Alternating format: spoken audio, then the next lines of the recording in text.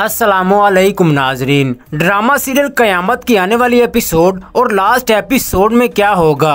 आज की इस वीडियो में हम आपको ड्रामा सीरियल कयामत की मुकम्मल स्टोरी के बारे में बताएँगे। क्या अरशद समरा को दिल से कबूल करके उसके साथ ज़िंदगी गुजारने का फैसला करेगा और क्या जवाद अपनी बाबी की बहन इफ्रा से शादी कर लेगा? ये तमाम तफसीलात आज की इस वीडियो में हम आपको बताएँगे। दोस्तों, वीडियो को आगे बढ़ने से पहले हमेशा की तरह आपसे गुजारिश है की अगर आपने अभी तक हमारा चैनल सब्सक्राइब नहीं किया तो जल्दी से सब्सक्राइब करके साथ बेल आइकन ज़रूर प्रेस करें ताकि ड्रामास की अपडेट आप तक बसानी पहुँच सके। ड्रामा सीरियल कयामत की आने वाली एक साथ में आप देखेंगे कि जवाद इफ्रा से मोहब्बत करने लगता है। जवाद को इफ्रा से सच्ची मोहब्बत हो जाती है। वो इफ्रा को अपनी फीलिंग्स बताते हुए कहता है कि जिस लड़की के लिए मैंने कैनेडा नहीं जाने का फैसला किया और पाकिस्तान में ही जॉब करने लग गया ताकि मैं उसको हासिल कर सकूँ, उसको देख सकूँ और उससे बातें कर सकूँ और बड़े अफसोस की बात है कि उसे कोई खबर ही नहीं। इफ्रा जवाद की ये बात सुनकर दिल से बहुत खुश होती है। राशिद की खाला भी इफ्रा को पसंद करती है और राशिद की माँ से कहती है कि अगर इफ्रा की शादी जवाद से हो जाए तो कितना अच्छा होगा।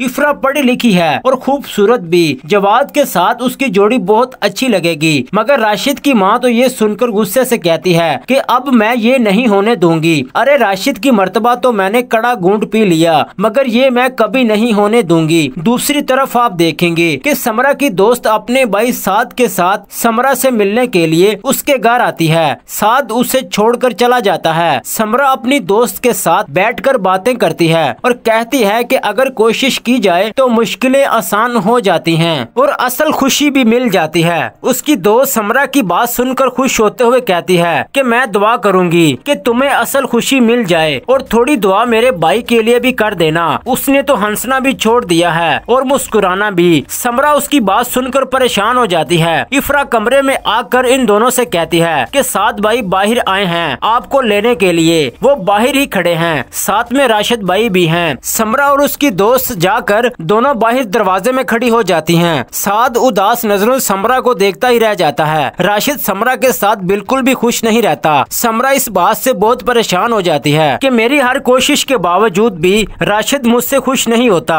कभी अच्छे तरीके से खुश होकर बात भी नहीं करता। समरा को राशिद का इस तरह का रवैया अंदर ही अंदर बहुत परेशान करे रखता है। वो किसी से भी कुछ नहीं कहती। शादी के बाद राशिद समरा पर बहुत ज़्यादा गुस्सा करता है। हर वक्त लड़ता रहता है और उस पर जुल्म और तशद भी करता है। दूसरी तरफ़ आप देखेंगे कि राशिद तो जो जुल्म अपनी बीवी समरा के साथ करता है, उसकी माँ भी समरा के साथ बहुत बुरा सलूक करती है कि मुलाजमा के होते हुए भी समरा से मुलाजमा की तरह सलूक करती है। समरा अपनी और अपने माँ बाप की इज़्ज़त की खातिर अपने शोहर और उसकी माँ के तमाम जुलम और ज़्यादा बर्दाश्त करती है। राशिद समरा को मारना पीटना भी शुरू कर देता है। वो किसी न किसी तरीके समरा को तकलीफ़ पहुँचाने की कोशिश करता रहता है। इन्हीं हालात में समरा माँ बनने वाली होती है, मगर राशिद अपनी आदतों और हरकतों से बाज नहीं आता। वो समरा की ऐसी हालत में भी उसकी केयर नहीं करता और उसे तकलीफ़ ही देता है। राशिद की इस बेपरवाही और जुल्म की वजह से समरा मर जाती है। उसकी बेटी बच जाती है। समरा इफ्रा को अपनी कोई परेशानी नहीं बताती, मगर उसे राशिद के हर वक्त के बुरे रवैये और बेवजह के गुस्से से अंदाज़ा हो जाता है कि मेरी बहन की मौत का जिम्मेदार राशिद ही है। दूसरी तरफ़ आप देखेंगे कि राशिद भी किसी न किसी तरह से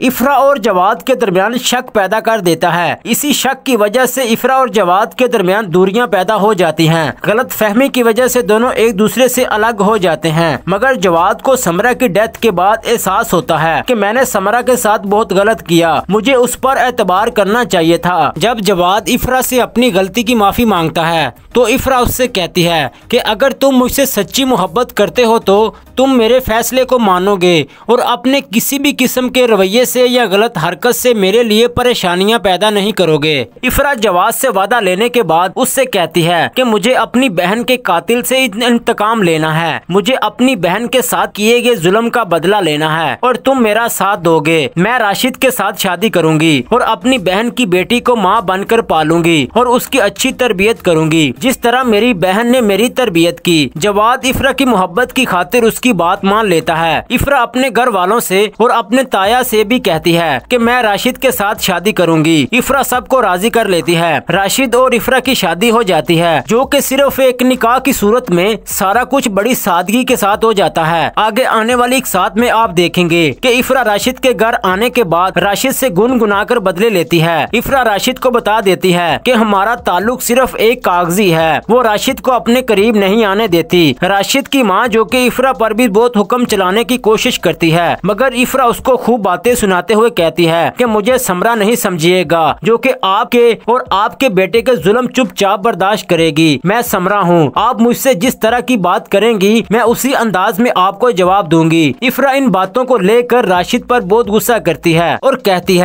कि पहली बीवी को जिस तरह खेच कर रखा था, मुझे उस तरह अपने हुक्म पर नहीं चला सकते तुम। राशिद की माँ हर तरह से कोशिश करती है कि राशिद इफ्रा पर हाथ उठाए, उस पर जुल्म करे। मगर इफ्रा तो बहुत बहादुरी से डट कर राशिद की ज्यादती और उसके माँ के रवैये का मुकाबला करती है। राशिद इफ्रा को बहुत तकलीफ़ और दुख पहुँचाने की कोशिश करता है, मगर इफ्रा उसका डटकर मुकाबला करती है। राशिद को उसकी गलती और बुराइयों का एहसास भी दिलाती है। राशिद को भी एहसास होने लगता है की इफ्रा राशिद को काफ़ी हद तक सुधार लेती है और राह रास्त पर ले आती है। इफ्रा अपने रवैये से राशिद को इस हद तक लेकर आती है कि राशिद इफ्रा से मोहब्बत करने लगता है और उससे माफिया भी माँगता है। वो इफ्रा की मोहब्बत हासिल करने के लिए तमाम बुराइयाँ छोड़ देता है। जब इफ्रा को पता चलता है कि राशिद वाकई ही सच्चे दिल से अपनी गलतियों पर शर्मिंदा है और मुझसे सच्ची मोहब्बत करता है तो वो उसे माफ़ करके खुशगवार ज़िंदगी राशिद के साथ गुजारने लगती है। जी नाजरीन, आपके ख्याल में इफ्रा की शादी जवाद के साथ जानी चाहिए थी या फिर राशिद के साथ ही होनी चाहिए थी। अपनी राय का जहार कमेंट सेक्शन में ज़रूर करें। वीडियो अच्छी लगी तो लाइक ज़रूर करें। मजीद पाकिस्तानी ड्रामा की अपडेट हासिल करने के लिए हमारे चैनल को सब्सक्राइब करके साथ बेल आइकन ज़रूर प्रेस करें, ताकि हर नई आने वाली अपडेट आप तक पहुँच सके। शुक्रिया, अल्लाह हाफिज।